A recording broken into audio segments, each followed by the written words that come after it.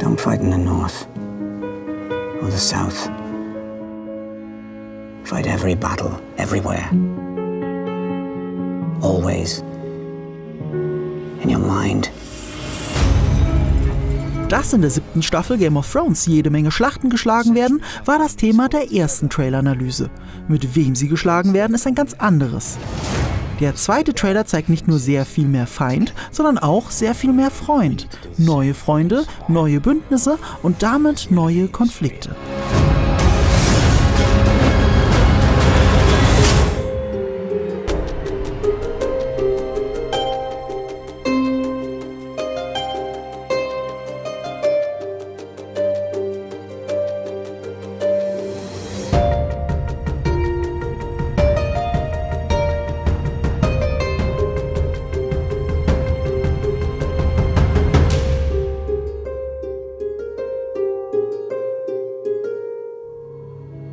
The snows fall and the white winds blow, the lone wolf dies, but the pack survives.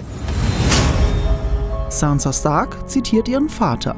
Auch wenn wir diese Weisheit nicht aus der Serie kennen, im Buch gibt sie Ned Stark ausgerechnet seiner kleinen Arya mit auf den Weg. Ein einzelner Stark habe keine Chance. Auch wenn Jon und Sansa wieder vereint sind, für ein Familientreffen fehlen noch zwei. Zwei, von deren Überleben man nichts ahnt, noch nichts ahnt. Die frisch ausgebildete Assassine ist auf dem Weg nach Norden und der frisch auserkorene Three-Eyed Raven auf dem Weg nach Süden. Dass Bran Stark das Tor der Mauer passiert, heißt aber auch, dass die Night's Watch ihn empfängt. Und da sich Jon Snow sehr bald jenseits der Mauer aufhält, müssen sie sich eigentlich begegnen. Was auch immer John hofft dort zu finden, er sucht es mit einer kleinen Gruppe und stößt auf eine andere kleine Gruppe. Zusammen verteidigen sie sich gegen die Whites und die White Walker. Man könnte auch sagen, dass es das Aufeinandertreffen der Auserwählten ist. Denn aus Sicht von Beric Dondarrion müsste ja er selbst der Auserwählte, der prophezeite Azor Ahai sein.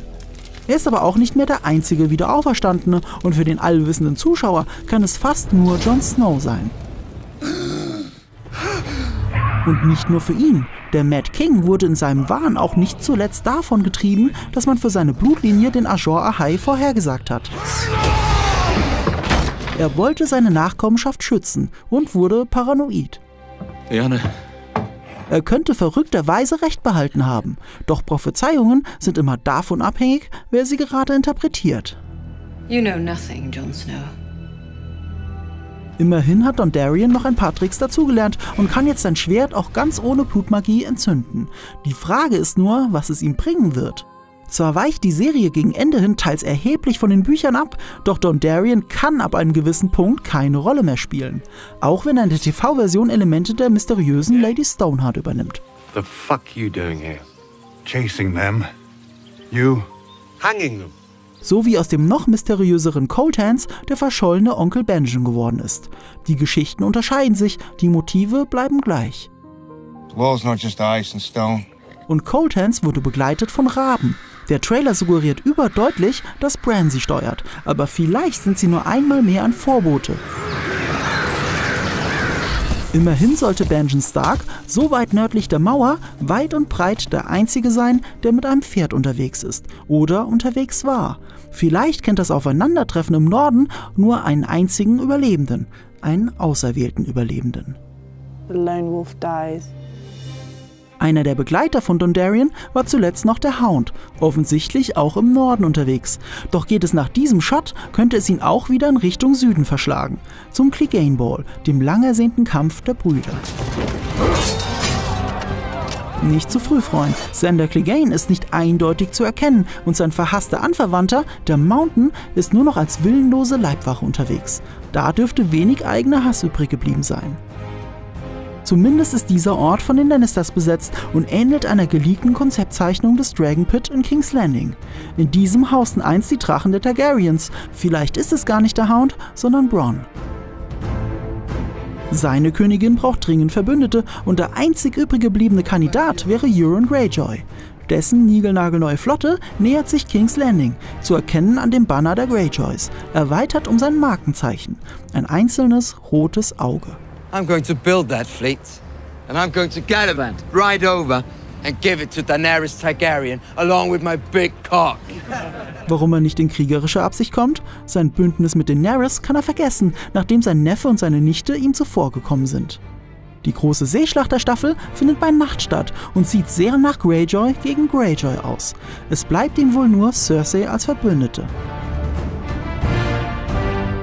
Und ihr blieb bisher nur Jamie. Nachdem Cersei den Großteil der Tyrells in die Luft gejagt hat, wäre es nur logisch, wenn sie ihn losschickt, um den Job zu Ende zu bringen.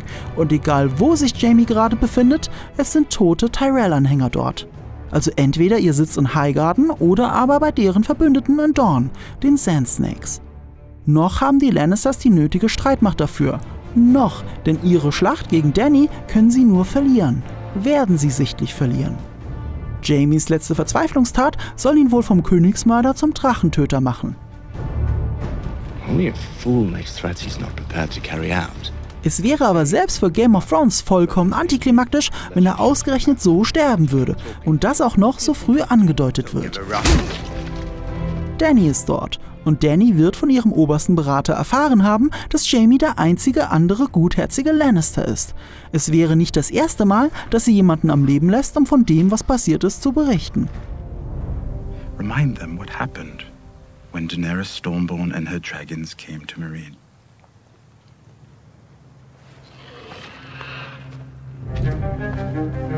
Außerdem könnte die Beziehung von Cersei und Jamie später noch eine ganz andere, eine ganz wichtige Rolle einnehmen. Aber dazu in einem kommenden Video mehr.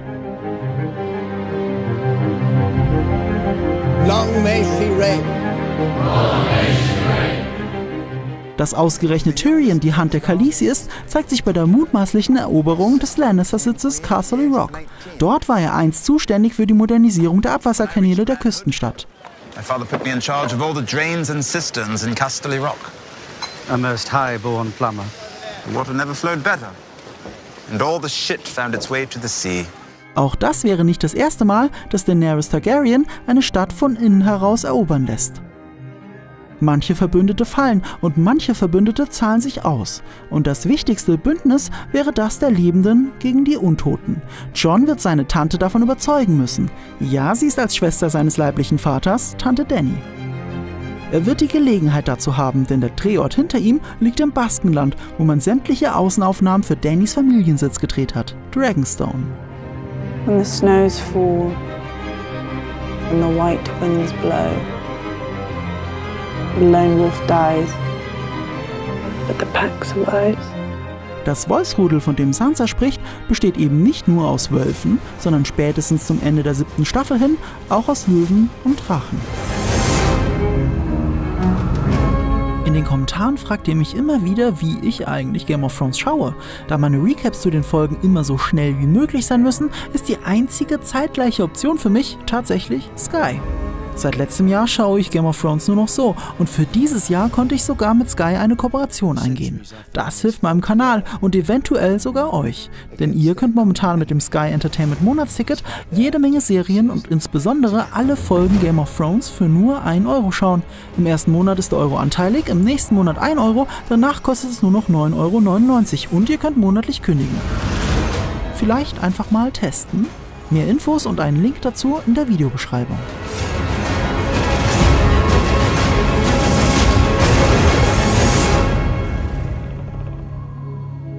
When the snows fall and the white winds blow, the lone wolf dies, but the pack survives.